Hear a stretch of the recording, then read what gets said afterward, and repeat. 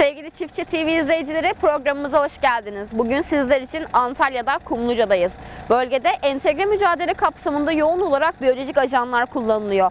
Biz de uzman konuğumuz ve üreticilerimizle beraber biyolojik mücadeleyi yerinde konuşmaya geldik.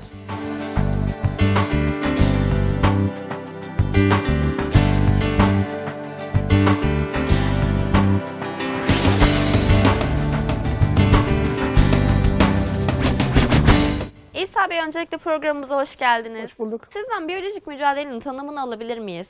Biyolojik mücadele tarımsal üretim esnasında ürünlerimize zarar veren zararlı böceklere karşı kimyasal ilaçların yerine kitlesel üretim yapılmış faydalı böceklerin belli bir disiplin dahilinde seraların içerisine yerleştirilmesi, salınması, onların takip ve çoğalmasını sağlamasıdır. Ülkemizdeki biyolojik mücadelenin durumu nedir şu anda?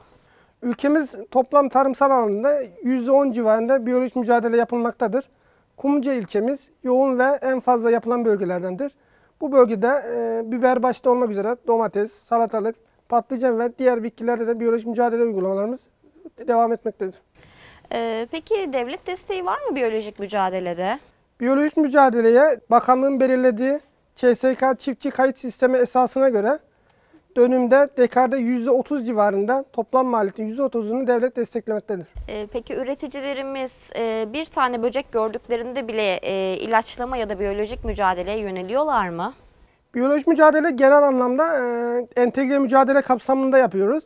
Entegre mücadele kapsamında da belli bir zararlının belli ekonomik zarar eşiği seviyesinde ulaştığı zaman zaman zaman kimyasallara da başvurarak faydalı böceklerimizi sera içerisine yerleştirip o şekilde e, belli oranda zaten zararlıyı burada içeride görebiliyoruz yani. Evet, zarar eşiğinden bahsetmişken üreticilerimiz için zarar eşiğinin ufak bir tanımını alabilir miyiz sizden? Zarar eşiği e, üretim esnasında bitkiye zarar verebilecek belli orandaki zararlı popülasyonun miktarıdır. Bu her zararlının çeşidine göre değişir. Örneğin biber serasındayız. Biberde tripse karşı belirlediğimiz eşikle domatesde belirlediğimiz eşik e, bitki türüne göre değişmekle birlikte bu e, eşik e, zararlının ürüne etkisi diye tanımlayabiliriz popülasyon sayısı olarak. Peki e, üreticilerimiz biyolojik mücadeleye başlamak istediler. Bunun için hangi yolları izlemeliler, hangi yollardan geçmeliler? Süreç e, ilk dikim esnasında başlıyor. Üreticimiz biyolojik mücadeleye yapmaya karar verdiği zaman bizleri buluyor teknik personel olarak. Daha sonra fide üretim tesisine fide siparişini verirken biyolojik mücadele yapacağını belirtiyor. Orada e, kontrollü fide yetiştiriciliğini sağlıyoruz. Her e, kimyasal uygulamayı fidelere uygulayamıyoruz. Temiz bir şekilde seralarımıza gelen fidelerimiz dikimden yaklaşık 3-4 hafta süreç periyodunda ım, takip ediliyor, gözlem yapılıyor. Bu şekilde eğer bitkilerde ilk çiçeği gördüğümüz zaman faydalı böcekler, ithal olan bu böcekleri getirip serada e, her böceğin durumuna göre kanatlı olmasına, kanatsız olmasına veya parazitoid olma durumlarına göre belli bir kural dahilinde seranın eşit bir şekilde, homojen bir şekilde sera içerisine yerleştiriyoruz. İlk etapta yani başlangıçta fide döneminde böcek salınımı yapılıyor değil mi? Evet, hı. Fide döneminde e, fide sipariş esnasında süreci başlatıyoruz. Yani biyolojik mücadele yapmaya karar veren üreticimiz de irtibata geçip o şekilde orada kontrol altına alıyoruz fideleri. E, arazide yani e, böcek görmesek bile ilk etapta koruma anlamında önlemlerimizi almış oluyoruz böylelikle. İlk etapta e, fidemizi, e, seramızın kenar etrafında e, beyaz tül, insetnet dediğimiz tülleri çekiyoruz. Bu tülleri çekmekteki amacımız dışarıdan içeriye olan akını, zararlı akını engellemek. Bizim faydalı böceklerimiz sera içerisinden dışarıya kaçma özelliği yoktur. Ama e, seranın açık olması, kapılarının veya yan havalandırmaların sistemin başarısını etkilediği için e, inseknet çekiyoruz. Fideleri seraya yerleştirdikten sonra sarı ve mavi tuzaklar asıyoruz belli oranda. Burada da e, o ilk 3 haftalık periyotta içerideki zararlı popülasyonunu tespit etmeye çalışıyoruz. Zararlı popülasyonuna göre içeride eğer faydalı böceğimiz yoksa uygun bizim böceklerin gelişimini engellemeyen kimyasallardan tavsiye ederek bu şekilde sistemi daha temiz, daha zararlı olmadığı bir süreçte start veriyoruz. Yani e, biyolojik mücadelenin de başlangıcında bir koruma amaçlı kimyasal uygulaması yapılıyor değil mi? Her serada ve her üreticimizde değil, bunu tamamen e, teknik ziyaretlerimize bağlı olarak seranın içerideki popülasyon durumuna göre, zararlı popülasyonuna göre faydalı uygulamadan önce bazı seralarımıza veya bazı üreticilerimize tavsiyelerde bulunabiliyoruz.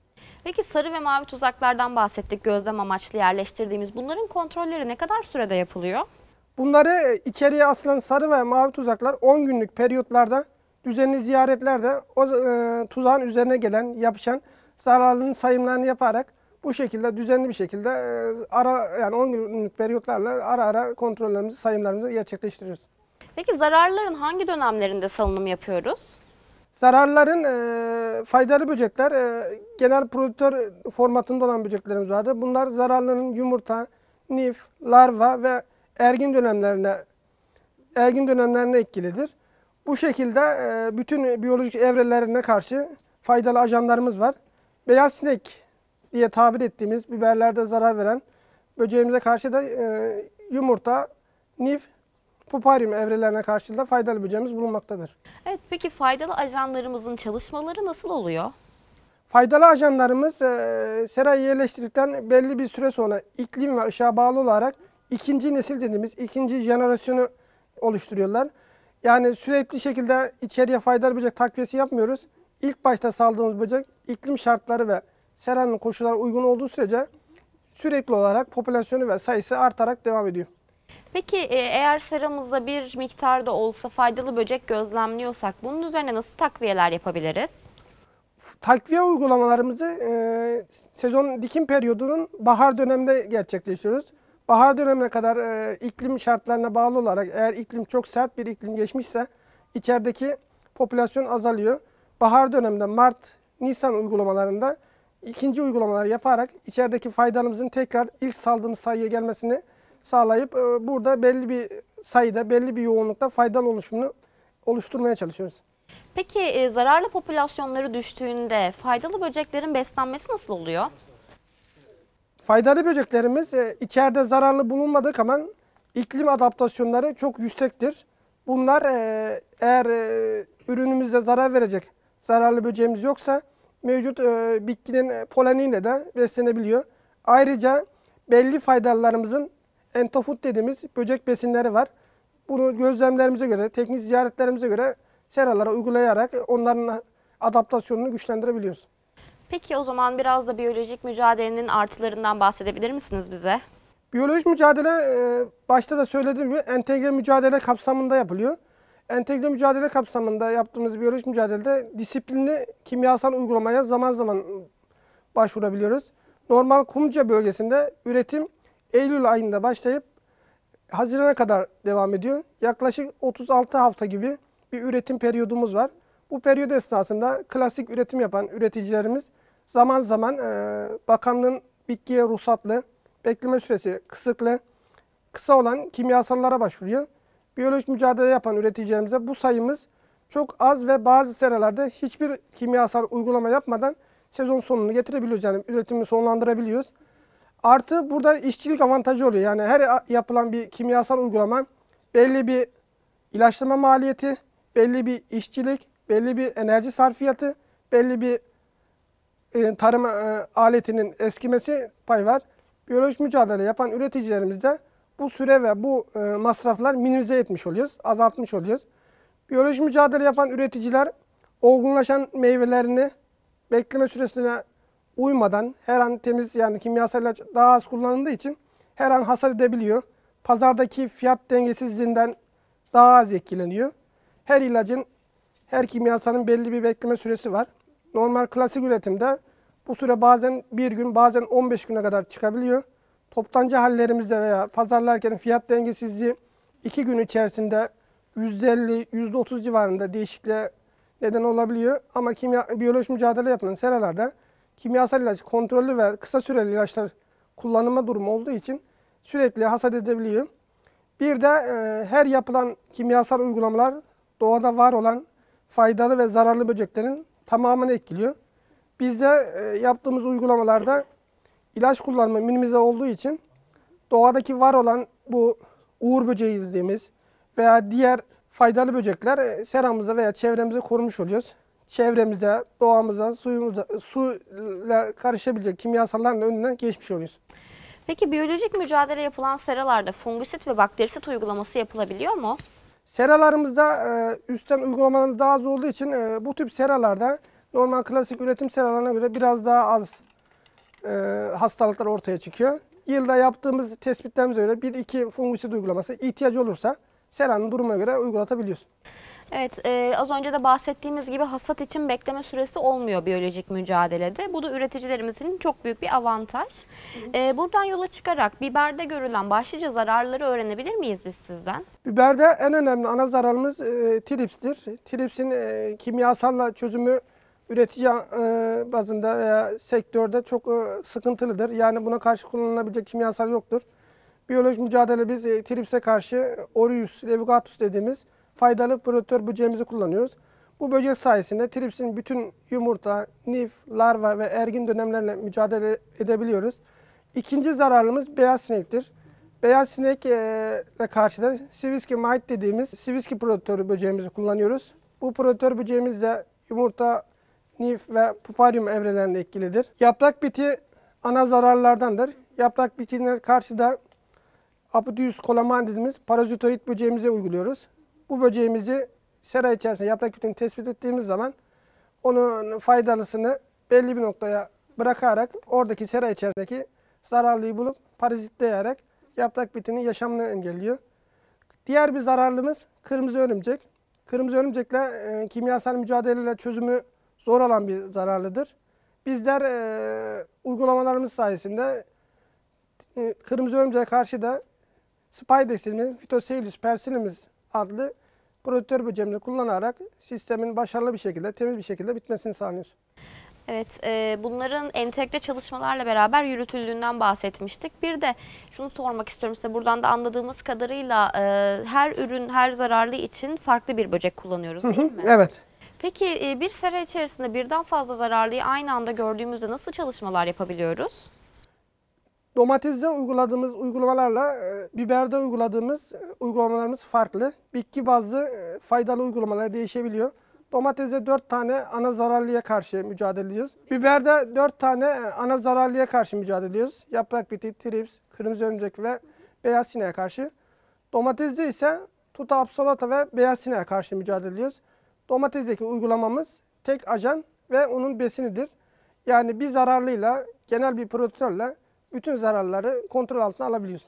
Peki biber yetiştiriciliği yapan bir üreticimizden bahsedelim. Şu an zaten biber serası içerisindeyiz. E, biyolojik mücadeleye başladı. İlk etaptan itibaren hangi yolları izlemesi gerekiyor biber üzerinden incelersek?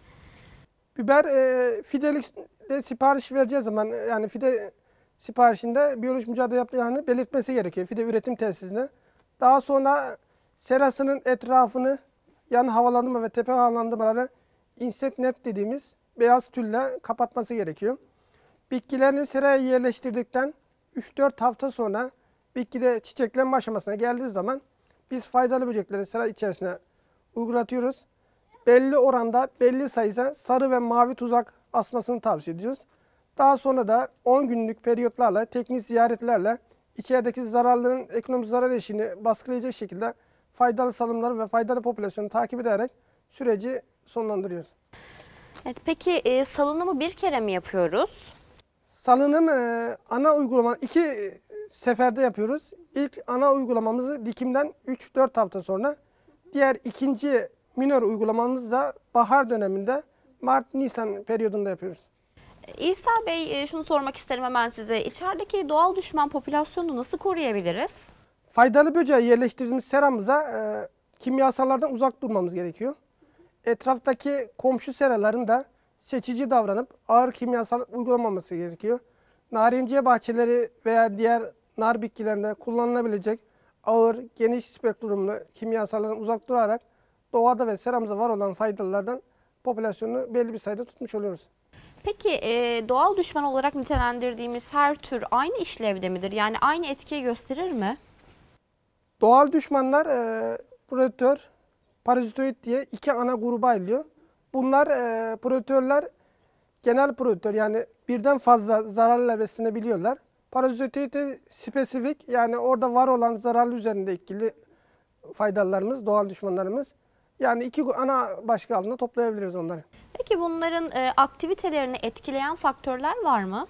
En önemli faktör e, fide- içeriye yerleştirdiğimiz, dikim yaptığımız fidenin kimyasallardan uzak olması gerekiyor ilk etapta.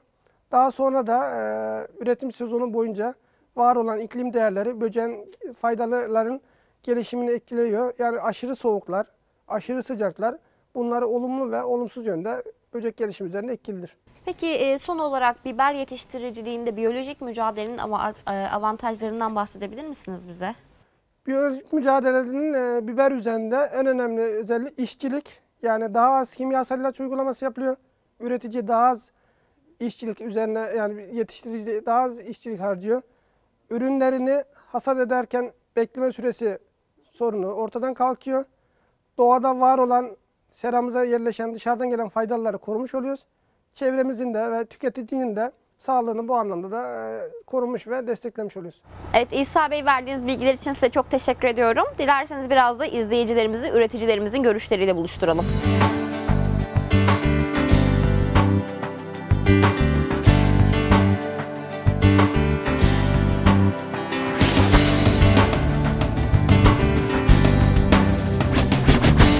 Biyolojik mücadele yaptığımız üretici seralarımıza faydalı böceklerimiz yurt dışından ithal olarak geliyor. Bu e, ithalat sürecinde soğuk zinciri kullanıyoruz. Bu gelen böceklerimizi seralarımızda bu şekilde uygulayarak zararlı böceklerle mücadelemizi sağlıyoruz. Uygulama yaptığımız bu faydalı böceklerimiz biberlerimizde, ürünlerde kalite ve verim zararı meydana getiren beyaz sineklere karşı kullanıyoruz. Beyaz sineğin yumurtası, larvası ve puparyum evreleriyle beslenerek içeride zararların çoğalmasını engelleyip bu şekilde kimyasal ilaç kullanmadan faydalı böcekle üretimi gerçekleştirmemize sebep oluyor. Faydalı böcekler yurt dışından ithal olarak geliyor. Bu ithalat sürecinde soğuk zinciri kullanıyoruz. Bu gelen böceklerimiz buz kasetleri içerisinde geliyor ve bu faydalılar yaprak biti için seranın bir noktasına asılarak yaprak bitini parazitleyip mücadeleye başlıyor.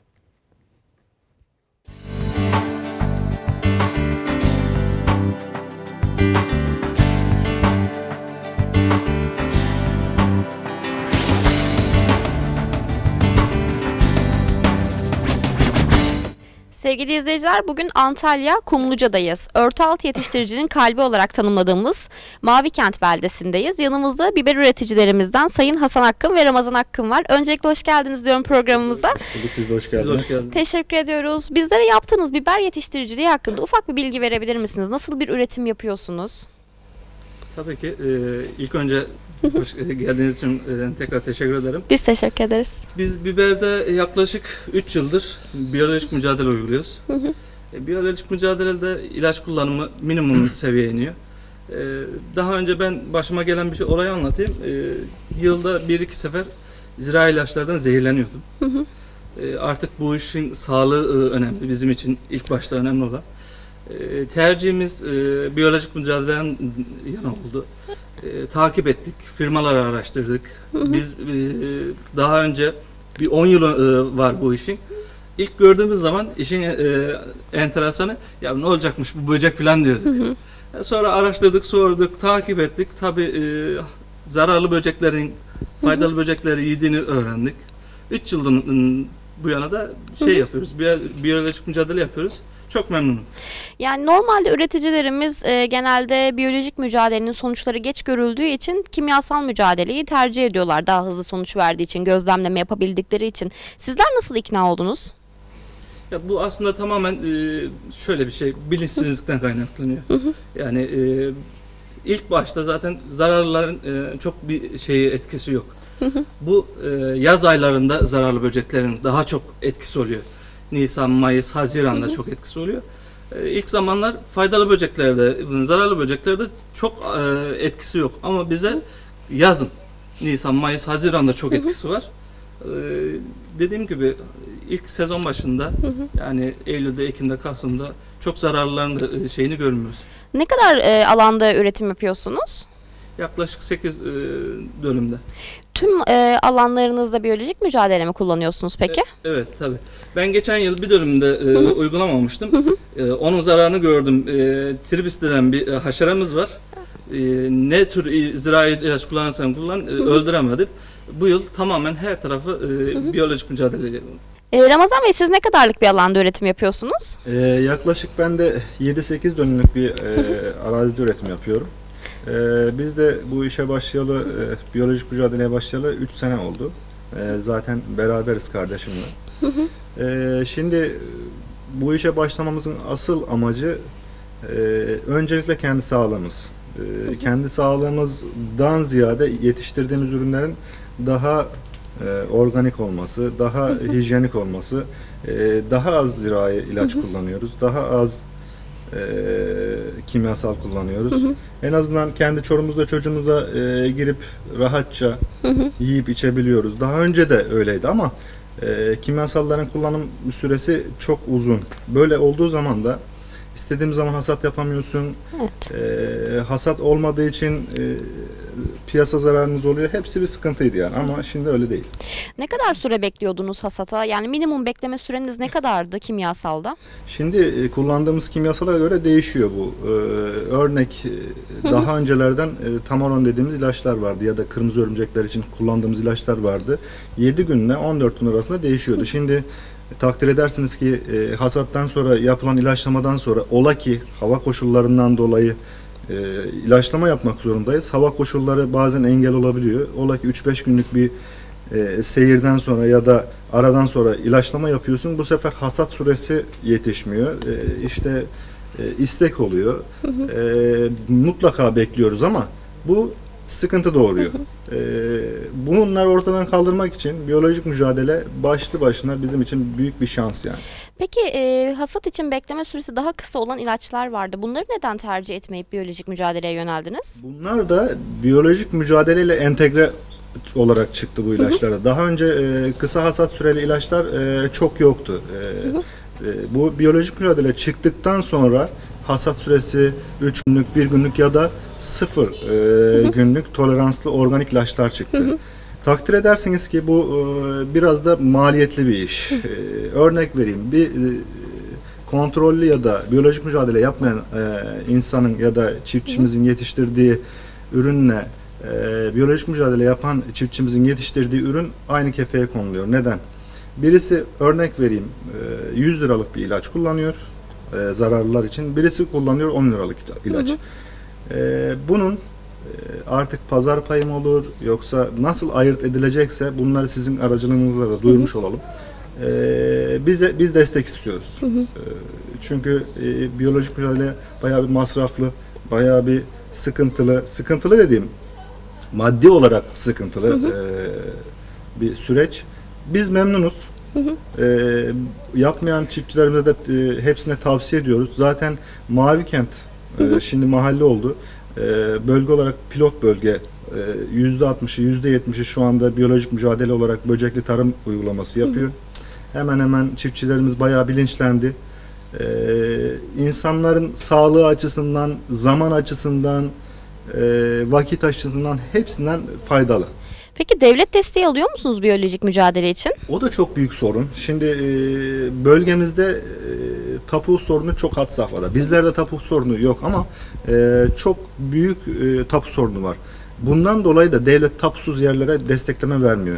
İşte örnek insanlar e, ektiği biçtiği yerin e, emlak kaydını şunu bunu yatırıyor ama tapu olmadığı için devlet de e, işte ÇKS sistemi dediğimiz sistemle ilçe tarıma müracaat ediyoruz.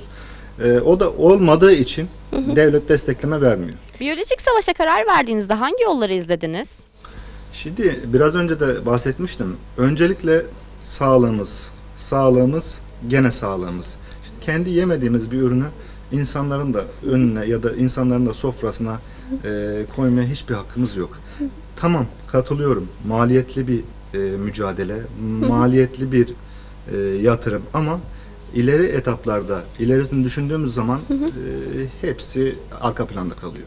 Peki diğer çiftçilerimizin biyolojik mücadeleye karar verdiklerinde prosedür olarak izlemeleri gerektiği bir yol var mı? Çok zor bir prosedür yok. Zaten e, bölgede e, değişik e, zirai danışmanlar var. E, bu iş- işleri yapan şirketler var. Onlara müracaat ediyorlar.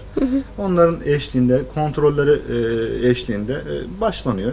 Devam ediyorlar. İşte onlar böcekleri e, seranın içerisindeki duruma göre, zararlılara göre e, takviyelerini yapıyorlar. Peki e, üreticilerimiz zararlı ya da yararlı böceği genelde ayıramazlar birbirinden e, tanıyamadıkları için böcekleri diyelim. Siz bunları ilk gördüğünüzde bir içinize kuşku düştü mü? Hani çalışıyor mu çalışmıyor mu bunlar zararlı mı yoksa faydalı böcekler mi diye düşündünüz mü? Elbette ki ilk zamanda bu e, soru işaretleri hep vardı. Bunu da e, bu firmaların zirai danışmanı arkadaşlar e, günlük, haftalık ya da işte e, rutin kontrollerle bize öğrettiler, gösterdiler. Zaten biz e, diğer zararlı böceklere yabancı değiliz. Yabancı olmadığımız için e, işte kırmızı örümceğinden, tripsinden, yeşil bitinden bunlarla kimyasal mücadeleyi yaptığımız için e, onlara za- yabancı değiliz. Bunları da gördüğümüz zaman arkadaşlar kontrolleri haricinde telefon açıyoruz. Geliyorlar, ekstra kontrollerini yapıyorlar. Ona göre siparişlerini verip böcekleri içeriye salıyoruz. Peki sizler gözlem yapıyor musunuz seraların içerisinde? Tabii ki e, en büyük gözlemci çiftçinin kendisi olması lazım. Zaten çiftçi kendi serasını gözlemlemezse e, o iş zor. Çok zor. Bildiğimiz gibi kırmızı örümceğin savaşımı zordur. Ee, kırmızı örümcek gözlemlediğiniz zaman seralarınızda biyolojik mücadelenin yanında ekstra bir uygulama yapıyor musunuz? Özellikle kırmızı örümcek e, nemsiz ve içinde bulunduğum- bulunduğumuz gibi cam seralarda daha yoğun olur. E, eğer ola ki e, kırmızı örümcek böceği, e, faydalı böceği attığımız zaman e, zararlı böceklere e, önüne geçemezse, hakkından gelemezse e, organik dediğimiz bir günlük ya da sıfır günlük e, organik iki böceğe de zararsız kırmızı örümceği öldüren e, ilaçlamalar var. Onlarla işte e, ilaçlama yapıyoruz. Kırmızı örümceğin önüne geçmeye çalışıyorsunuz bu şekilde. Peki e, şu anda biyolojik mücadele yapıyorsunuz ve bunun e, size ne gibi getirileri oluyor? Piyasayı kıyaslarsak. Şimdi ilk zamanlar e, hiçbir ekstra getirisi yoktu. Yani e, X bir vatandaşın e, biyolojik mücadele yapan ya da yapmayanla hiçbir e, farkı yoktu. Neden yoktu? İnsanlar daha bilmiyorlardı, haberleri yoktu. Ama şimdi şimdi şimdi daha insanlar bunları biyolojik mücadele ya da kimyasalsız ürünleri duyduğu için insanlar işte soruyor bu böcekli mi değil mi diye. Pazarı daha iyi oluyor. Ama bize yansıyan var mı? Şu anda hala yok. Hala yok. Çünkü e, bir devlet politikası yok bu konuda ya da işte biz e, hallere veriyoruz ya da e, işte böcekli e, biberin e, fiyatıyla diğer böceksiz biberin fiyatında e, ekstra bir değişim yok. Öbürü de aynı fiyat, bu da aynı fiyat. Bunlarda işte biz artık nasıl bir destek olacaksa bilinçlendirmem olacak, nasıl olacaksa sizlerden de Evet. destek bekliyoruz. O zaman biz sizlerden son olarak üreticilerimize tavsiyelerinizi alabilir miyiz? Biyolojik mücadeleyi tavsiye ediyor musunuz üreticilerimize? Kesinlikle tavsiye ediyoruz. Neden tavsiye ediyoruz? Kendi gelecekleri için, e, insanların gelecekleri için, daha sağlıklı bir yaşam için mutlaka biyolojik mücadele ediyoruz. E, Bu konuda e, görsel medyadan, sizlerden çok büyük destek bekliyoruz. Neden? İnsanlar işte biberin nasıl olduğunu, nasıl yetiştiğini bilmeden e, a- hani ağzı olan konuşuyor diye bir laf vardır ya. e, çıkıyorlar insanlar geliyor e, işte çok kolayca çamur atıyor. Bizde yetiştiricilik e, kolay bir şey değil. Gecesi var, gündüzü var, sıcağı var. E, 45 derecede çalışıyorsunuz e, yeri geliyor. Onun için onun için e, ağzı olan konuşmasın. E, bu işler çok zor işler. Onun için ki sizlerden destek bekliyoruz. Onun için ki biyolojik mücadeleye yönelelim. Onun için ki geleceğimiz için, neslimiz için mutlaka sizlerden de destek bekliyoruz. Peki Ramazan Bey size çok teşekkür ediyorum. Ee, Hasan Bey sizin de görüşleriniz varsa, üreticilerimize mesajlarınız varsa onu da alalım, röportajımızı tamamlayalım. Hakikaten e, üreticimiz de varsa halkımıza e, buradan seslenmek istiyorum. Gönül rahatlıklarıyla bizim biberlerimizi, biber, salatalıklarımızı, domateslerimizi yiyebilirler. Bundan 15-20 yıl önceki teknoloji yok artık. Ben evimde rahatça çocuğumla bu sebzeyi yiyebiliyorsam halkımız da yiyebilir. Yani onun için gönül rahatlığıyla e, sebzelerimizi yiyebilirler. Teşekkür ederim Hasan Bey verdiğiniz bilgiler için. Evet. Bir e, anekdot daha Tabii. bir e, hatırlatma yapayım. E, bunlar hep kontrol altında. E, daha geçen hafta ilçe tarım seralarımızdan e, numunelerimizi aldı. E, numune alıyor. E, bu önceki gibi e, durumlar yok artık. E, ola ki zirai ilaç çıkan, kalıntı çıkan çiftçilerimize çok büyük cezalar var, yaptırımlar var. Çiftçiliği elinden alınma gibi 12 bin lira gibi, 13 bin lira gibi cezalar gibi. Onun için e, artık o söylenen söylentiler çok gerilerde kaldı. Özellikle de sağlığımızı düşünüyoruz. Kesinlikle. Ve ilaç da kullanıyorsak eğer hasat süresini bekliyoruz Evet, kesinlikle.